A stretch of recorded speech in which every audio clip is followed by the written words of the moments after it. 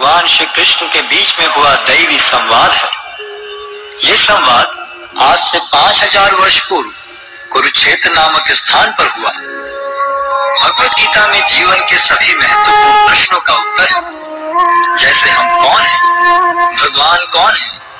हमें कष्ट क्यों होते हैं? क्या पुनर्जन्म होता है? क्या अन्य ग्रहों पर जीवन है? हम कैसे इस जन्म और अगले जन्म में सुखी रह सकते हैं? हम कैसे भगवत धाम को जा सकते हैं? कोई पूछ सकता है कि कुरुक्षेत्र में हुए महान युद्ध, जिसके दौरान भगवत गीता कही गई, उसका कारण क्या था? पाँच हज़ार वर्ष पहले विचित्र वीर नामक एक महान राजा का देहांत हो गया। क्योंकि उसका बड़ा पुत्र धृतराष्ट्र जन्म से अंधा होने के कारण राज्य भार संभालने में असमर्थ था अतः उसके छोटे भाई पांडु ने राज्य सिंहासन संभाला। पांडु की मृत्यु के बाद उसके पाँच पुत्र, जो पांडवों के नाम से विख्यात थे, जो नियमानुसार राज्य के उत्तराधिकारी बने। लेकिन पांडव अभी बालक ही थे। अतः धृतराष्ट्र ने स्वयं राज्य भार संभाला धृतराष्ट्र के सौ पुत्र थे, जो कौरवों के नाम से जाने जाते थे। जब पांडव बड़े होकर राज्य संभालने लायक हुए तो वे संपूर्ण राज्य नहीं लेना चाहते थे।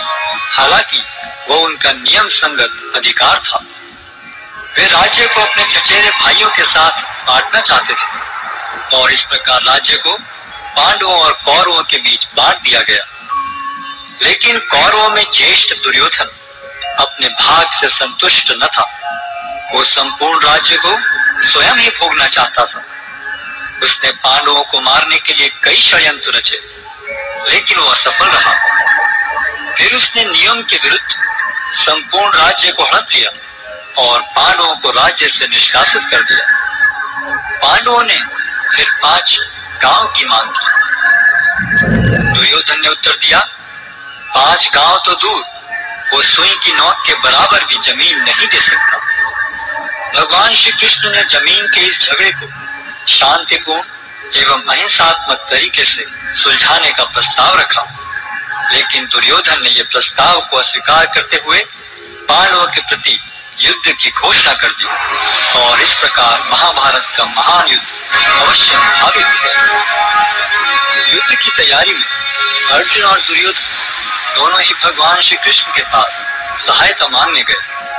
भगवान श्री कृष्ण उनकी मदद मांगने को आए, किसी भी व्यक्ति को नहीं ठुकराते थे, चाहे वे सज्जन हो या दुर्जन। भगवान श्री कृष्ण ने अपनी संपूर्ण सेना को एक और तथा स्वयं को मार्गदर्शक के रूप में दूसरी ओर देने का प्रस्ताव रखा। दुर्योधन ने भगवान श्री कृष्ण की सेना को चुना, जबकि अर्जुन भगवान को मार्गदर्शक के रूप में प्राप्त करने को उत्सुक था। इस प्रकार भगवान श्री